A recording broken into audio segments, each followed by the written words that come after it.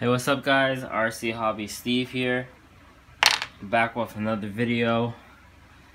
Got some parts that I picked up from my local hobby store, Turn for Hobby Town. Um, picked up some parts that I believe should be the final pieces to my Jeep. I might be purchasing some um, Knights Custom parts for my Jeep just to complete the outer look of it but for like the inside and whatever um, I believe this is what's gonna complete it. So I have here um, some stuff. I'm gonna show you uh, what I got today for the Jeep. Today being Wednesday July 20th that I'm doing the video. So if you follow me on Instagram you'll know that I um, posted a video showing the receipt of how much everything came out to. So the prices are on this, so you'll see how much everything came out to. Alright, the first thing being, I'm going to start with the cheapest things in this bag. So that being, uh, let's see. I bought some fans just to keep some things cool in my truck. So I bought a this is a cooling fan from a company that I have no clue um I, I don't know anything about them but it was small enough to fit on my ESC so I'll be putting this on backwards to remove the heat or I'll be putting it on forwards to um, add some cool air to the ESC just to keep it cool. And I bought another one from Hot Racing. This is a clip-on motor heatsink with a fan in black. So if you need the part number for this, there's the part number. Um, this will be clipping onto my motor. I'm going to be moving the fan sideways so that air can hit the um, the motor. And pull it down, also got another pinion gear. It's a 32 pitch, 16 tooth pinion gear. Um, the reason I got this was because I bought another motor. I know I, I had purchased the 45 turn motor.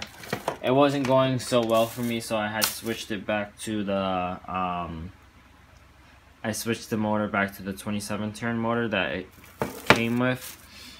And I decided to get a 35 turn motor. This was $12.99. Um, so yeah, there's a 35 turn motor. I'm going to see how this goes. Supposedly, if I use this pinion gear, I'm supposed to get a decent amount of speed. Not as fast as the motor is now, but decent. So that was $12.99. This was $12.99, $4.95. Um, this fan was $10.99. I also got some 3 by 30 millimeter um, hex screws, six pieces, 275 just for the um, just for whatever I need screws for. I purchased some springs because I bought the Traxxas shocks. These are the aluminum ones. These are aluminum ones. These are the big bore shocks, extra long, hard anodized, and Teflon coated. These are assembled. All I need to do is put some springs in it, so that's why I got these. Since I do have the front shocks, the rear shocks in the front of my SCX-10 from the Slash, I decided to get the other pack just to see how it'll um, act in the rear. Um, so yeah, these are the 90 millimeters, so they're a little bit longer than the stock shocks. So I plan on putting this on. Then I bought a brand new bumper because I was getting really, really tired of the bumper that I had on. This is the Tough Armor RC 4-wheel drive competition stinger bumper um, to fit Axial SCX-10. So this was $40. And there's the bumper right there. I fell in love with this bumper when I saw it on a one-to-one -one scale Jeep. So I can't wait to get this on my Jeep. Next we have the high lift jack from RC 4-wheel drive. seriously can't wait to open this. This is $32.99, but well worth it because it it works like a high lift jack should work.